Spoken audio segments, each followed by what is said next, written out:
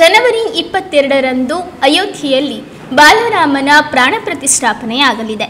ಈ ಹಿನ್ನೆಲೆಯಲ್ಲಿ ದೇಶಾದ್ಯಂತ ಸಂಭ್ರಮ ಮನೆ ಮಾಡಿದೆ. ಅದರಂತೆ ರಾಜ್ಯದ ಮಾಜಿ ಮುಖ್ಯಮಂತ್ರಿ ಬಿಎಸ್ ಯಡಿಯೂರಪ್ಪನವರು ಅಯೋಧ್ಯೆಗೆ ಪ್ರಾಣ ಪ್ರತಿಷ್ಠಾಪನೆ ಕಾರ್ಯಕ್ರಮಕ್ಕೆ ಹೋಗುವುದಾಗಿ ಮಾಧ್ಯಮದ ಮೂಲಕ ತಿಳಿಸಿದ್ದಾರೆ.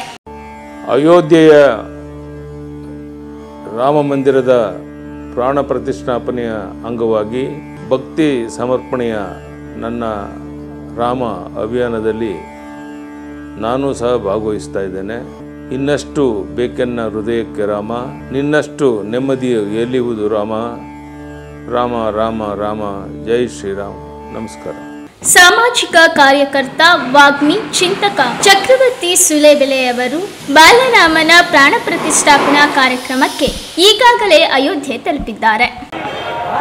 ರಾಮಾಯ ರಾಮಭದ್ರಾಯ ರಾಮಚಂದ್ರಾಯ ವೇದಸೆ ರಘುನಾಥಾಯ ನಾಥಾಯ, ಸೀತಾಯ ಪತಯೇ ನಮಃ. ಯಾವ ರಾಮ ರಾಮಚಂದ್ರನಾಗಿ, ರಾಮಭದ್ರನಾಗಿ, ಸಕಲ ವೇದಗಳನ್ನು ಅರಿತವನಾಗಿ, ಮಹಾಜ್ಞಾನಿಯಾಗಿ ನಮ್ಮೆಲ್ಲರ ಬದುಕನ್ನು ಸೀತಾಪತಿಯಾಗಿ ಕಾಪಾಡಿದ್ದು ಆ ರಾಮನನ್ನು ಹನುಮಾನ್ ಗಡಿಯ ಈ ನೆಲದಲ್ಲಿ ನಿಂತ್ಕೊಂಡು ನೆನಪಿಸ್ಕೊಳ್ತಾ ನಮ್ಮ ರಾಮ ನಮ್ಮೆಲ್ಲರ ರಾಮ ಅನ್ನುವಂಥ ಈ ಚಳವಳಿಯಲ್ಲಿ ಮೂವ್ಮೆಂಟಲ್ಲಿ ನಾನು ಕೂಡ ಪ್ರೀತಿಯಿಂದ ಪಾಲ್ಗೊಳ್ತಾ ಇದ್ದೀನಿ. ಯಾರ್ಯಾರಿಗೆ ಇದರ ಅವಕಾಶ ಸಿಗುತ್ತೋ ನಾವೆಲ್ಲರೂ ಪಾಲ್ಗೊಳ್ಳೋಣ. ಧನ್ಯವಾದ. ಬಿಜೆಪಿ ರಾಜ್ಯಾಧ್ಯಕ್ಷರಾದ ಬಿವೈ ವಿಜಯೇಂದ್ರ ಅವರು ರಘುಪತಿ ರಾಘವ ರಾಜಾರಾಮ್ ಎಂದು ಹಾಡುವ ಮೂಲಕ ರಾಮನನ್ನ ಸ್ಮರಿಸಿದ್ದಾರೆ. ರಘುಪತಿ ರಾಘವ ರಾಜಾರಾಮ್.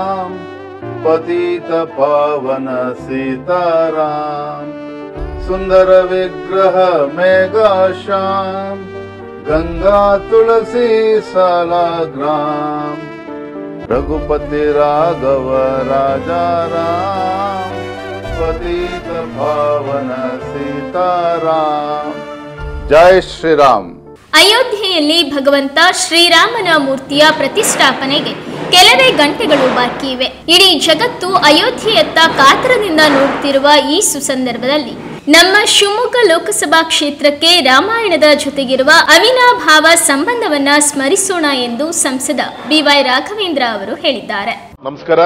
ನಾವೆಲ್ಲರೂ ಕೂಡ ಜನವರಿ ಇಪ್ಪತ್ತೆರಡನೇ ತಾರೀಕು ಈ ದಿನವನ್ನ ತುಂಬಾ ಸಂತೋಷದಿಂದ ನಾವೆಲ್ಲರೂ ಕೂಡ ಕಾಯ್ತಾ ಇದ್ವಿ. ನಮಗೆಲ್ಲರಿಗೂ ಕೂಡ ಗೊತ್ತಿದೆ. ಅನೇಕ ವರ್ಷಗಳ ಒಂದು ತಪಸ್ಸು. ಜನವರಿ ಇಪ್ಪತ್ತೆರಡನೇ ತಾರೀಕಿಗೆ ಭವ್ಯ ಶ್ರೀರಾಮ ಮಂದಿರನ ಒಂದು ರಾಮನ ಪ್ರತಿಷ್ಠಾಪನೆ.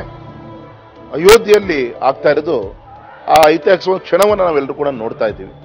ಯಾವುದೋ ಒಂದು ಪೂರ್ವ ಜನ್ಮದ ಒಂದು ಪುಣ್ಯದ ಫಲ, ಸುಮಾರು ನಾನೂರು, ಐನೂರು ವರ್ಷಗಳ ಒಂದು ಹೋರಾಟ, ಒಂದು ದೇವಸ್ಥಾನಕ್ಕೋಸ್ಕರ ಇಡೀ ಪ್ರಪಂಚದಲ್ಲಿ ಸುಮಾರು ಐನೂರು ವರ್ಷಗಳ ಹೋರಾಟ ನಡೆದಂತ ಯಾವುದಾದ್ರೂ ಒಂದು ಉದಾಹರಣೆ ಅಂದ್ರೆ ಅದು ಅಯೋಧ್ಯೆಯ ಶ್ರೀರಾಮ ಮಂದಿರದ ಒಂದು ಪುಣ್ಯಸ್ಥಳ ಅಂತ ನಾನು ಹೇಳಲಿಕ್ಕೆ ಇಚ್ಛಪಡ್ತೇನೆ ಅನೇಕ ಕರಸೇವಕರು ತಮ್ಮ ಜೀವವನ್ನ ತೆತ್ತು ಹುತಾತ್ಮರಾಗಿದ್ದಾರೆ.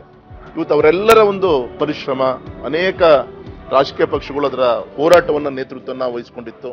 ಇವತ್ತು ಈ ಸುಸಂದರ್ಭವನ್ನ ಅವರೆಲ್ಲರ ಶ್ರಮದಿಂದ ನಾವೆಲ್ಲರೂ ಕೂಡ ನೋಡುವಂತ ಒಂದು ಅವಕಾಶ. ಸನ್ಮಾನಿಸಿದ ನರೇಂದ್ರ ಮೋದಿಜಿಯವರ ಒಂದು ನೇತೃತ್ವ ಅಲ್ಲಿ ಅವರ ಒಂದು ನೇತೃತ್ವದಲ್ಲೇ ನಾಳೆ ಇಪ್ಪತ್ತೆರಡನೇ ತಾರೀಕಿಗೆ ಶ್ರೀರಾಮ ಮಂದಿರದ ಒಂದು ದೇವರ ಒಂದು ಪ್ರತಿಷ್ಠಾಪನೆ ಆಗ್ತಾ ಇದೆ.